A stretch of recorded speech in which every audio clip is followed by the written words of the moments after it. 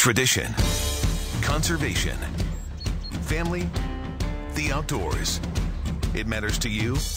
It matters to us. This is Hunting Matters. Presented by Houston Safari Club Foundation. Here's Joe Betar. Good Saturday morning. Welcome back to Hunting Matters on KPRC 950 AM. And your host, Joe Betar. I am Ramon Robles. And uh, Ramon, how'd you how'd you uh, fare through the big winter storm Oh, of man. 2021? It was very depressing, and then we got to see snow all around the greater Houston metro area, Right. except for the Houston metro area. yeah, the, the the line was just right out of reach. Yeah, and I wanted to take my kids somewhere up to to like stay there Saturday night and the Sunday to see it, but it just didn't work out. And yeah, just kind of you know you don't get that opportunity often, especially Yeah. down here. Yeah, I, you know, but we had snow early, so I'm encouraged by the fact that it was early and we could get it. You know, again in February. You never Yeah, know. they're talking about the polar vortex has sprung, and Yeah. you know it's coming down. So hey, I'm all about I that. saw the, I saw the polar vortex warning. Yeah. Uh, this would be the year for it. Between this year and last year, this would Yeah, yeah. r- why polar not? vortex. and Absolutely. who knows? Blizzards, Freeze everything. Yeah. Who knows? Now I'm a little excited to get out of here, not for any other reason than as soon as we're done here at seven o'clock, I am on my way down to the valley to go hunt. Oh yeah. My first hunt in about eighteen months. Where are you going to hunt? Uh, I'm going to hunt deer, Okay. or as you were calling that, doe. I don't know what the difference is. Um, are doe the ones with the antlers? Yeah, oh, sure, if you want to, okay. you want to believe that. But I'm actually just uh, hunting for hogs because Okay. I, I, I got a deer a couple years ago. Yep. Half of it's still in the freezer because none of my family eats it. It's just Right. me, and so I'm just going to eradicate the varmint that is a hog. yeah, or Well- six. Well, if, you know, if you do get a doe, though, you could uh, have it made into sausage and don't tell anybody because venison Uh, yeah. sausage is phenomenal. And unless you're a sausage connoisseur, you can't tell Now, my wife mix in that fat and it's Yeah, delicious. That's the lesson I learned is she would have never known the difference. Yeah, venison sausage is. Uh, I think it, even people who don't have a real taste for wild game or for or for venison, it's it's an easy pass, mm-hmm. and it's a great gift because people are always wanting sausage. Yes. So cook a little tenderloin or some ribs, throw in some venison sausage. Nobody uh, nobody would be the wiser. I made the mistake of uh, assuming that again my AR would be just fine, which it is, it is. But I made the mistake of thinking, well, I can wait a week till I go hunt to find a rifle. Yeah. Have you tried to find anything at a Uh, gun store you here? can't lately? find anything. Yeah, that- ammo. yeah. weapons, rifles. I, I just saw a price of uh, a box of nine millimeter. It's whoa. Yeah. So here we go. yeah. So you're not prepared. Well, I'm prepared. Yeah. Uh, I have like four uh, bullets in my gun, Okay. And then you know slingshot or whatever. A noose, a spear. yeah, trap. yeah. No, but yeah, I'm ready. But I just thought, you know, I'm gonna I'm gonna treat myself. I'm gonna get me a nice rifle. Yeah. A proper rifle, proper hunting rifle. Sure. And, they laughed at me. I Yeah. walked in and they're like, no, come on, seriously, what do you need? What do you think we are? Gun store? yeah. So it'd be the old Well, AR. that's to to you know to some degree that's the positive thing. I mean, we've talked about it before with the increase in firearm sales, hunting license sales, fishing license sales, and those sorts of things are just off the chart in the past year, which is good because Mm-hmm. Yeah. that tells you people are you know wanting to get involved in the outdoors. So That's one aspect of Yeah, it. that's a good my thing. my uh, uh, my cynical belief is that you know with the new changing of the guard Yeah. in D.C., there might be a little panic buying. But you know that's just my perspective be. because of my day job Monday through Friday. And I've got a friend that works uh, that owns a gun shop up in Pennsylvania, and he said since March of last year they have just not been able to keep things on the Wow. shelf. Well, that's good because that means people are getting out there and, and hunting, and that, Yeah. that is great. I mean, since the pandemic started, I mean they just they can't keep anything on the shelf. Yeah. They've had their best year ever in the history of their gun gun shop. That is So- great news. Yeah, really good news.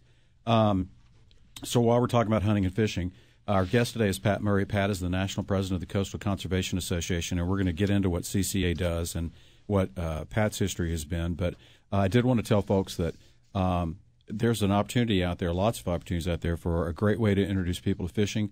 Every fall and winter, um, the Texas Parks and Wildlife Department stocks trout, rainbow trout I was going to talk to you about that. um, into uh, they do about 300,000 trout into 200 community lake streams, river uh, tail races, state park ponds, and they're free to go catch. Yeah. Um, in fact, there's like 14 air uh, locations in Harris County alone. Mm-hmm. So I encourage people to go to the Texas Parks and Wildlife Department website at tpwd.texas.gov. You can type in 2020 2021 trout stocking schedule and find out where they're stocking, when they're stocking, and you don't need anything but a, a pole, really. I mean, Yeah. You're not fly fishing for these things most part. I mean, along the Guadalupe River and those places, they, they fly fish for them, but in these areas, lakes and ponds, you can go out there with a can of whole kernel corn and a hook, basically, and Is that true? yeah, Whole- yeah, whole kernel corn.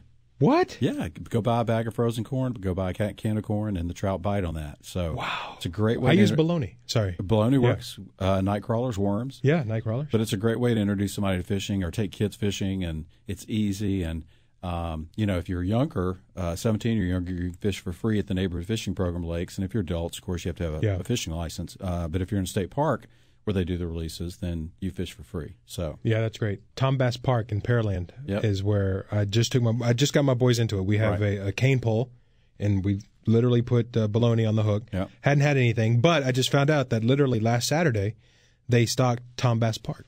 Oh wow, So we're gonna go. Uh, I guess next week because Daddy's Yeah. going hunting today. yeah, rainbow trout are delicious. Yeah. Okay. So yeah, it's a good opportunity for people to Very get out there and get outdoors and get some fishing under their belt. For so sure. Today, uh, joining us is Pat Murray. Pat again is the national president of the Coastal Conservation Association, or more more affectionately known by most people as the CCA. You can learn about them at joincca.org. Pat, good morning. Thanks for being with us.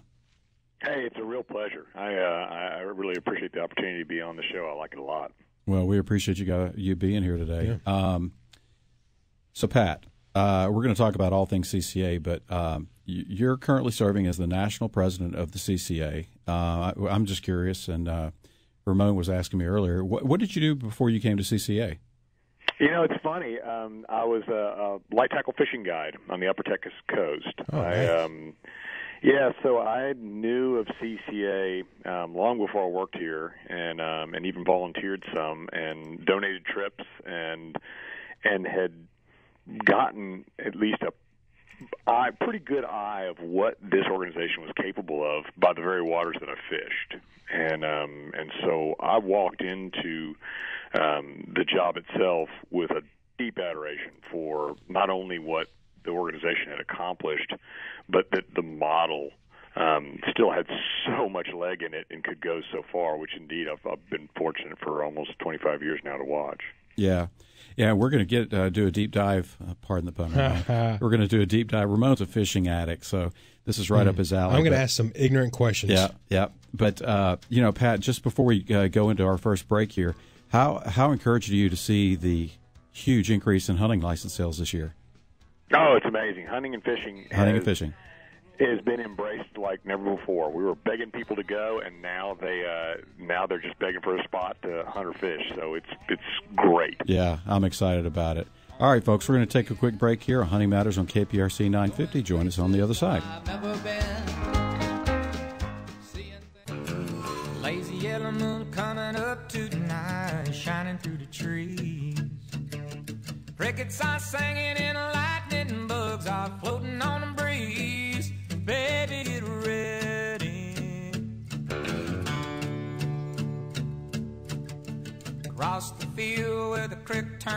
Good morning. the Welcome back to Hunting Matters on. KPRC 950. I'm thing number one, Joe Betar. I'm, I'm Ramon Robles. That, that threw me for a loop. That's funny. Very good. You know your thing number two. Yeah, I am. I am thing number two. I've been uh. called number two plenty of times. Thank you, folks, for joining us once again this week on Hunting Matters.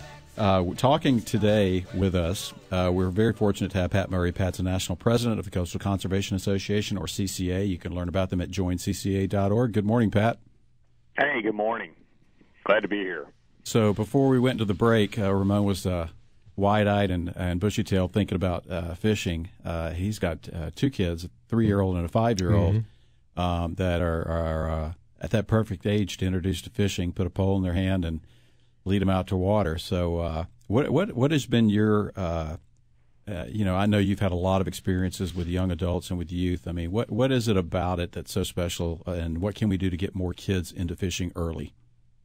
God, there's a lot in that question. Um, I know. You know, there's a lot of magic that's found at the coast because, and sometimes it's the the fishing trip that the key takeaway has nothing to do with the actual fishing. It may be the experience of seeing the power of the ocean. It may be picking up a piece of trash and feeling like you actually made a difference, um, and which is sort of the advent to a, a conservation ethic. Um, honestly, it can be seeing a crab and going, "What in the world is that thing?" Um, all of those happened for me, um, and and then of course getting a bite, be it a piggy perch or a speckled trout or whatever it is you catch, that is just incredible. The bonds it creates. I mean, the, my fondest memories. I tell people all the time. I don't. I don't remember my first bike ride, um, my first day at school, honestly, my first day at college. Um, but I remember the first flounder my dad caught because it looked like he'd caught a Martian. Yeah. And um, and that doesn't that doesn't just happen when you're sitting in a desk chair. That happens on the ocean. And um, so there's there's a lot of reasons to get kids involved early, and um, and I, Ramon, I applaud you um, for getting Thanks. your kids involved early. That's a wonderful gift you're giving them. I appreciate that. Yeah, it, it is whether it's hunting or fishing or whatever your your passion is. I I still remember conning an, uh, uh, my uncle into taking me fishing. I had an aunt that lived on the bayou in Louisiana, and I would go stay with my aunt and uncle, another aunt and uncle, um, from time to time, and I would go into his storage room, and he would have these old metal tackle boxes with these old baits and lures, and they just fascinated me. And I, I he he used to say uh, before he passed away, he'd, he'd say, "I remember Joe, when you were a little boy, you'd come in and go." what you doing today, Uncle Thomas? And he'd look and he'd go, well, I'm doing this, that, and the other. And this this guy looked like the guy in that picture of American Gothic that was holding Oh, yeah, a picture. That's what my uncle looked like. Yep. Exactly. And as we got older, we called him UT to make him feel cool, Uncle Thomas. but I'd, walk in and I'd kind of lean against the counter. I go, you know what? It's sure does look like a good day to go fishing. He'd go, really?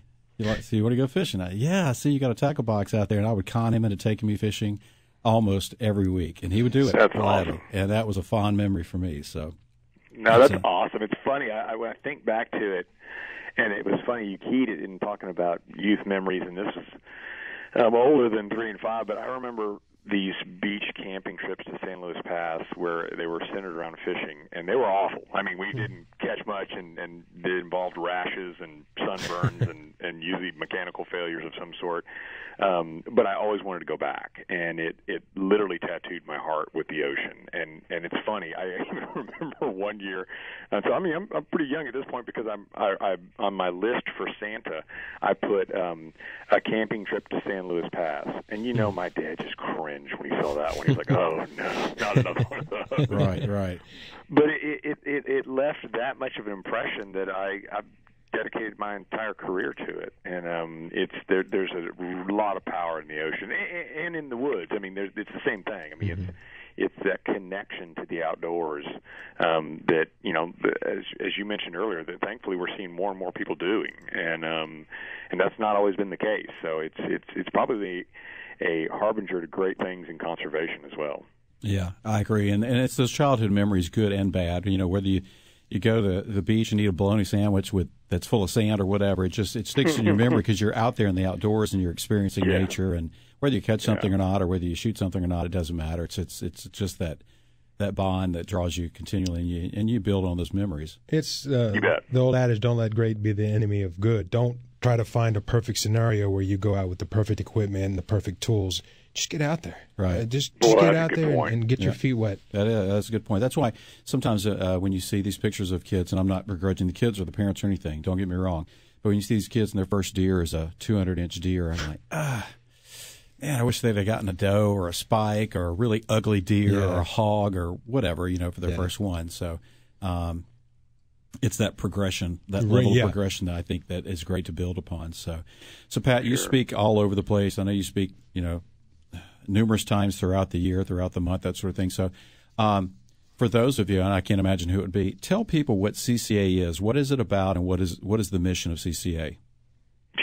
Coastal Conservation Association. We were founded in Houston, Texas, in uh, 1977, and um, the origins are neat. It's a it's a fabled story. It's real, but it's got it's it's got a fable-like quality to it. It was 14 recreational anglers got together and and were really really despondent about the rampant commercial overfishing of, of red drum and speckled trout, and um, and you know, they got together and said, we can make a difference. And these visionaries said, if we can put together some people and some money and some political influence, we can stop this gill netting. If people aren't familiar with um, single strand monofilament gill nets, it's a, a very indiscriminate and very destructive piece of gear that suspends in the water column and catches everything that entangles its gills in it. So it can be um, and yeah, and it's, so they're just deadly effective, and um, and that's indeed what they were to those populations. And then around the time of the blackened redfish craze, um, these populations of these great sport fish got really, really impacted. And so the the magic in this piece is these these guys got together and said we're going to make a difference, and um, it worked. And they started adding more and more people, and they discovered this model for change of getting members and fundraising and advocacy, and that created a wheel and that wheel started to roll. And before long, they had legislation in place that banned gill nets and then made um, redfish and speckled trout sport fish in Texas. And then all of a sudden, there were glances from Louisiana and Florida and other places that said, "Hey, we kind of like that model." Um, and now we do business on all three coasts. Um, and uh, and it's we've seen it we've really seen the model work and so coastal conservation association is truly a grassroots organization and um, we advocate um, for good fisheries management, but we also work aggressively in habitat restoration and creation. We do a lot of work in oyster reef creation, um, marsh restoration, and offshore reefing as well, which I think is probably the newest dimension of conservation. Um, in that it's become very widespread of trying to increase the biomass and and increase production um, of some of these key species like red snapper and, and other other sport fish that, that folks like to pursue. Right, and, and what exactly is offshore reefing? You know, it's uh, it's largely getting materials. It can either be man-made, well, it's all man-made, but it can be um, these large pyramid structures. Um, if you go on our website, you'll be able to see various um, iterations of that. You can also go our, our national habitat program is called the Building Conservation Trust, and so you can go to buildingconservation.org um, and and see images of these giant pyramids that have holes in them, and they're they serve as core habitat for things like uh, snapper, grouper, um, and then also sometimes it's sinking a vessel. Um, you know, we've had real good success, particularly in the South Atlantic, sinking these large decommissioned and cleaned um, tugboats. Yeah. And which creates a lot of a lot of relief on the bottom, a lot of contour and structure. Um, you get these items on the ocean bottom, and benthic growth begins immediately. You get all of that sort of base stuff that you need that supports the forage base, all the food basically, mm-hmm. and then um, and then sure enough, they originally attract these species. Um, again, be it a an apex predator like a sailfish, or be it a you know a grouper. Um, and then you know fish are funny because once you get them together, they do primarily two things, which is eat and spawn. Right. And so they eat that forage that's convened there, and then they start to spawn and create production. Then all of a sudden, you get new year classes of fish. Wow, so that, that's pretty cool. Exciting. That's pretty exciting. All right, folks, we're going to take a quick break. We'll be back with our guest Pat Murray of CCA on the other side. You're with Hunting Matters on KPRC 950. Another working week is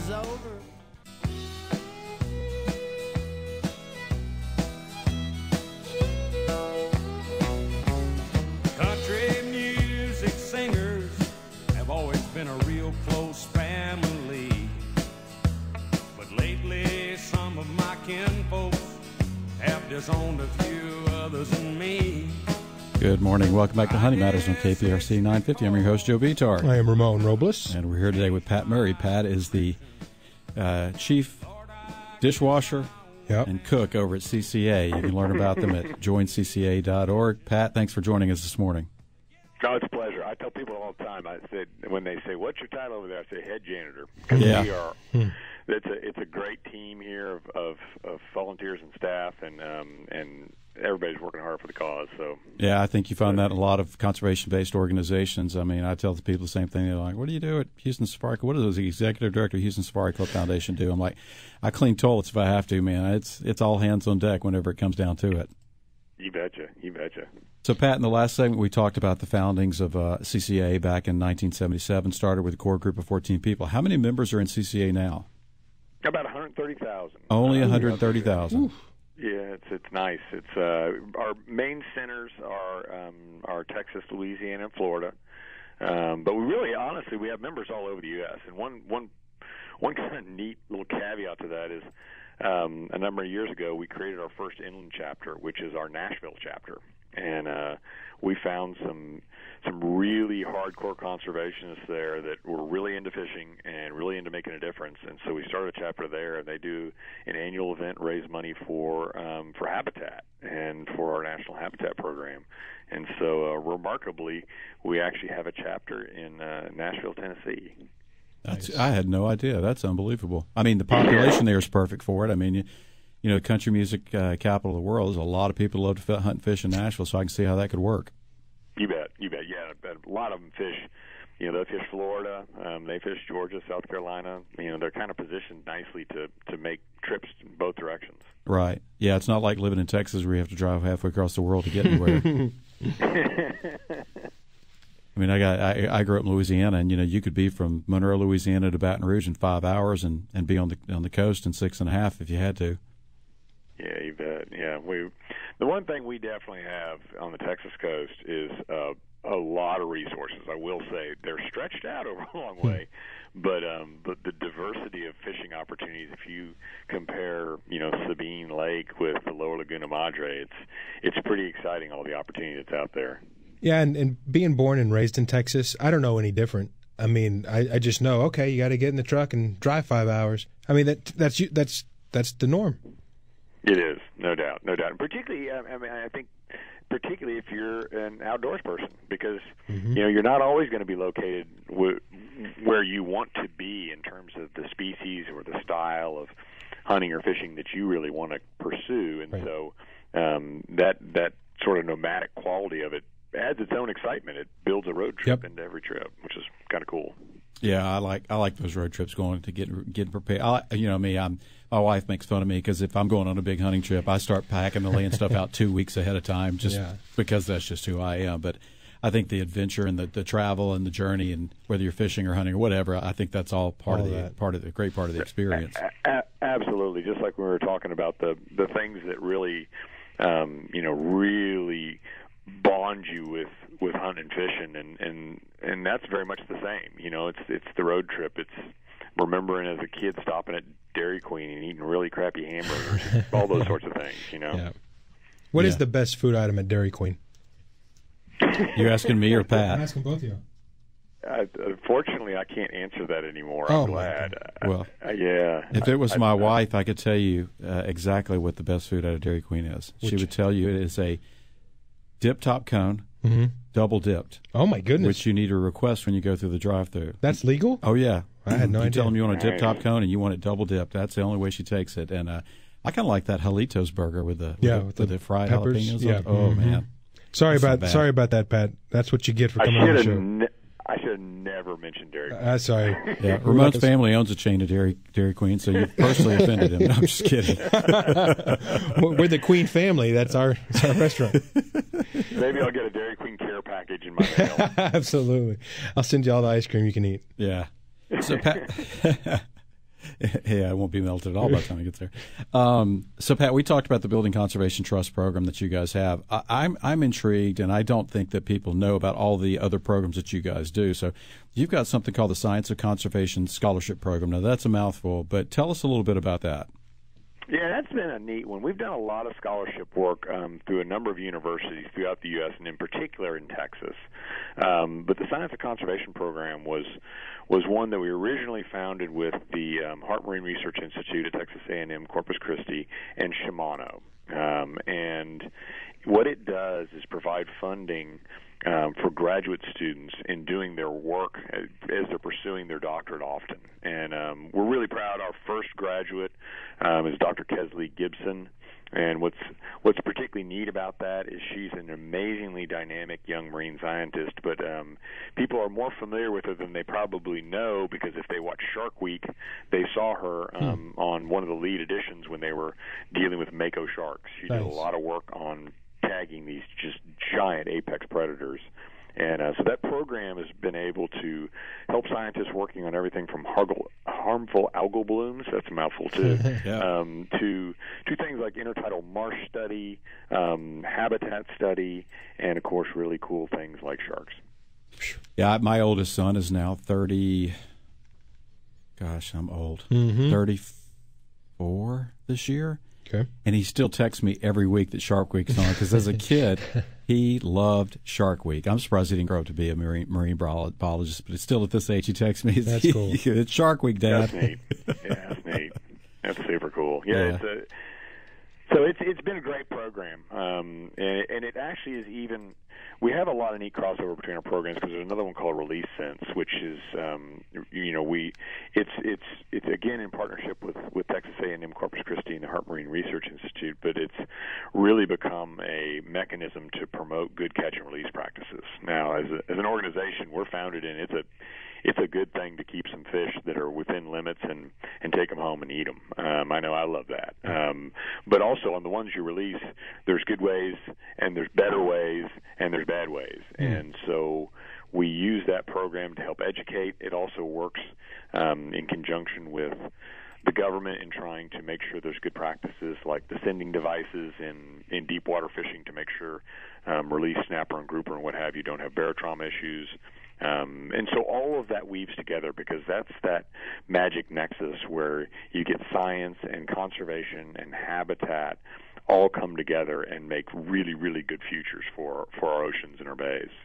Yeah, I think people sometimes forget that uh, you know the the it, catch and release is an awesome thing, but uh, you know the way you release, the methodology behind it, and those sorts of things, you have to really be careful what you do and how you do it to maintain uh, those uh, the viability of those released uh, released fish. You bet. And uh, it's it's it's very very important. Um, so Pat, something that raises its ugly head every year is the controversy on uh, red snapper limits and that sort of thing. Can you give us some insight on what that's like uh, for your organization on a yearly basis, the ups and downs of, of red snapper limits and and you know uh, commercial versus just the consumer fishing issues that you guys deal with every year? Sure, it's been a big issue for us for a long time. Um, it's funny in our magazine. I looked at one point. I wrote my first article about red snapper management in 1992, and um, and it was going on before that, um, and it continues today, and it evolves today. We have a a advocacy team that works both at council meetings and around those, as well as um, lobbyists in Washington D.C. that work explicitly on that issue, and um, and we have ups and we have downs. One of the the ups was a stock assessment called the Great Red Snapper Count um, that Dr. Greg Stunz did, um, again from A&M Corpus Christi, um, that revealed a massive um, stock, much larger or population, I'll use that word, uh, population um, in the Gulf of Mexico than the federal administrators had, had believed. And but then you walk right back into some of the federal statutes um, that that can limit time on the water even in healthy stocks. So we deal with it all the time. And there's times we're winning and there's times we're losing, but I can promise you that is a core focus species for the organization. And uh, and one that, you know, I promise you it'll be it'll be big in the next couple of years. They're doing I won't get into the weeds of it, but some recalibration of some of the information that's recently come to light in terms of the population. And um, so we're going to be right back in the teeth of a uh, of a management issue here pretty soon. Yeah, I've got a buddy. I, I hear from him occasionally. He's a, a guy I've known since I was a kid. He's a charter boat captain out of the Destin, Florida area, and it's it's always a topic of conversation with him.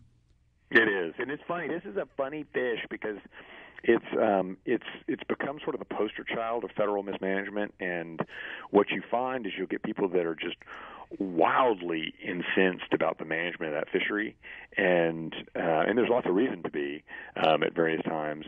And then you ask them how much they fish for them, and they go, "Oh no, I don't, I don't fish for them." um, it's, it's just become emblematic of of what can go wrong when a management system becomes that entangled, and that's uh, that's really been the tale uh, through this fishery. Yep, uh, absolutely. All right, folks, we're going to take a quick break. Join us on the other side with our guest, Pat Murray. Pat is the national president of the Coastal Conservation Association. You can learn about him at joincca.org. We'll be back with you in just a moment.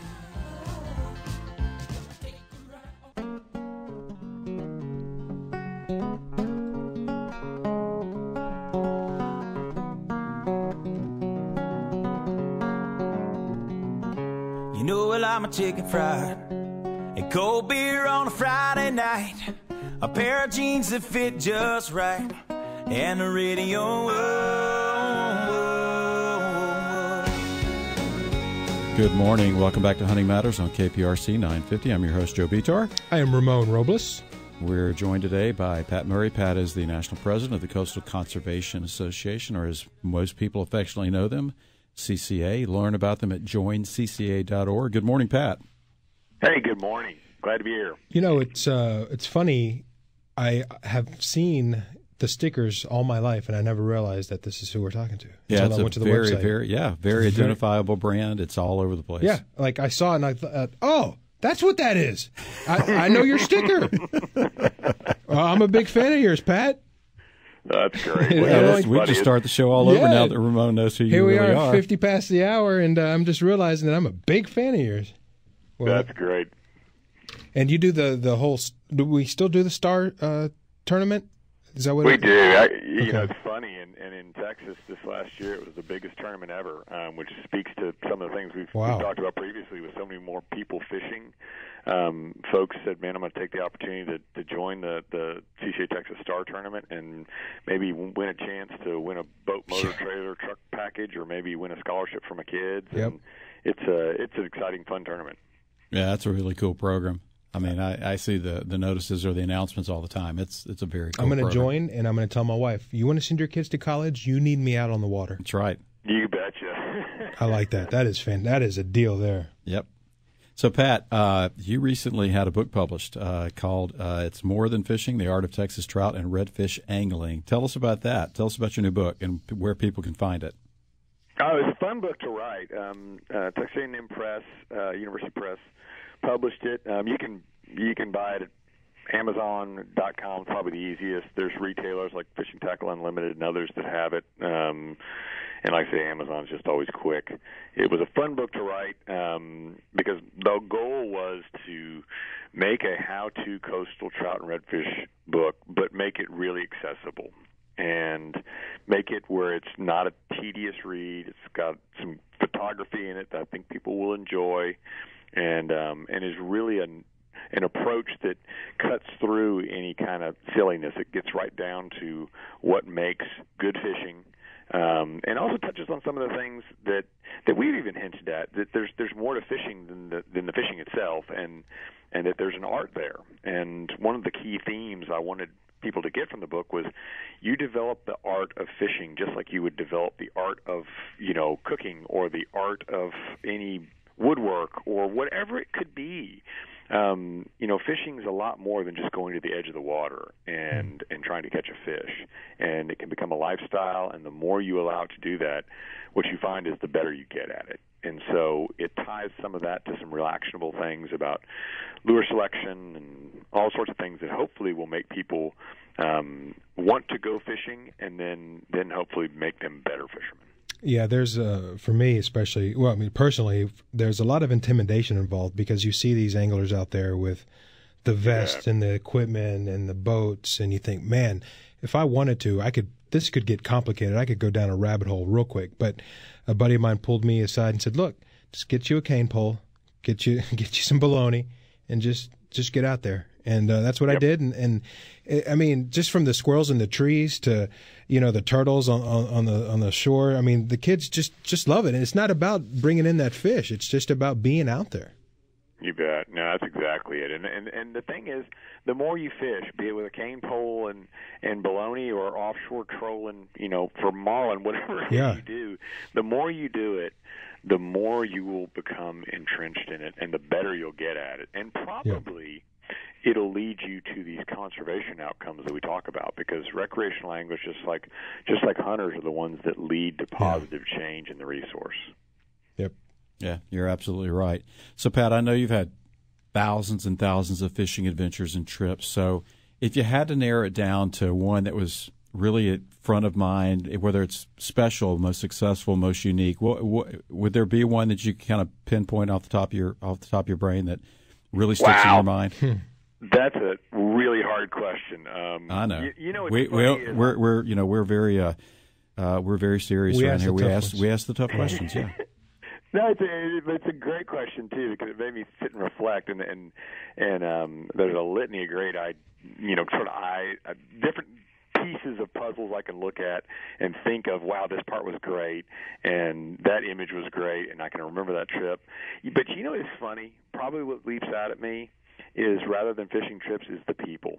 um, the people I've met through my fishing experiences and through years of being on the coast and and not just when I was fish guiding um, and not just in the conservation arena, but even just walking, you know, on on a pier somewhere fishing, I have met some of the most fascinating um, people, and I think of um, some of the some of the guys that are running around, like the late David Wright, and and some current active guides that are absolute characters, people like James Plaag and others that that I've learned so much from, and and and maybe that's some of the beauty of fishing be it learning from your dad or learning from a mentor. Um you know there's a neat sort of oral tradition that gets passed down through arts like fishing. And um and so maybe maybe more than any one fishing trip it would probably be more a cast of characters that that would stand out in my mind. Yeah i mean it, it may be a stretch. I may be reaching here but i i've met some of the most unique people ever on the water near the water fishing. They come from all walks of life Everybody Absolutely. can fish. I mean, yeah. the, old, the, the old adage, more uh, more hunters fish than fishermen hunt. There's more fishermen yeah. out there. I mean, plain and simple. Huh. And uh, I I think that's uh, some of the reason behind those successes of the shows like the Deadliest Catch. And mm-hmm. I met some of those guys in person. We were up in Alaska hunting a year or so ago, and I met some of those guys in a cafe having breakfast before they went out. Wow. You know, and it's I think that the, the I don't know what it is about the sea about freshwater, saltwater, but the yeah. the characters associated with fishing are just that. They're true characters. They really are. And then what's neat is the fishing experience creates the bond, and maybe it's the bond that's the memory more than the than the yeah. person in terms of the standout. And and again, it can be between a a father or daughter and a mother and son or whatever, or a a, a guide and a client, or a couple of buddies going fishing or sitting in a deer stand that bond, that connectivity, there's people that I've fished with that I have a deeper bond with than people that I'm related to. Um, because it is that much of an experience. So I, I didn't answer your question, but um, but it but I would say it's probably the been the people and um and and unfortunately I, I couldn't well maybe just fortunately I couldn't narrow it to one yeah. probably be yeah. dozens. So uh, when you're not fishing, what do you do to relax? Work. You know, I work. Yeah, I, I, I work. A, I do work a lot. I'm definitely a self. Uh, I, I embrace my workaholism um, because I love what I do. Um, really, really love it, and I love the people that I get the fortune to work with, both volunteers and staff. Um, but also, too, I mean, even in in all parts outdoors. I um I mean I love running, I love hiking, I like being out there. Yeah. And um and there's just nothing like it. You know, again a lot of my day is spent uh, behind a desk or used to be in an airplane and mm. um and but but yet the times I treasure the most, the times I feel the most connected, the most present would be on the water or in a mountain or wherever. Yeah, I agree. I agree. So Pat, what's your what's your favorite way to prepare fish? Oh man, another hard question. Um, I tell you what, I've been doing a lot. I go in waves, um, and I have been fortunate to um, to have been catching some redfish down in Port Aransas with Dr. Stunz, um, who's an amazing fisherman as well as a marine scientist. And so I've been doing redfish fillets and doing a little egg wash, panko breading um, whatever seasoning you like. I kind of put a little Italian twist on it and kind of ease toward thyme and oregano um, and then put a little heat in there, and nice. serve that over some brown rice pasta um, with crushed tomatoes and garlic. Oh. It is Come on. so tasty, so tasty. We'll be over at your house in about yeah, an hour. We're go, on ahead, our way. go ahead and heat it up. Oh, it's really good. It's oh, good. Man. Well, folks, we've been joined today by Pat Murray. Pat's the national president of the Coastal Conservation Association, or as you know them, CCA. Learn about them at joincca.org. Pat, it's been a pleasure. Uh, we've learned a lot, and thank you so much for being a guest on Hunting Matters this week. That was my pleasure. Wonderful to talk to you both. All right, man. We'll catch up soon. All right, folks, that's it. We're done for this week on That's Hunting? Matters on KPRC 950.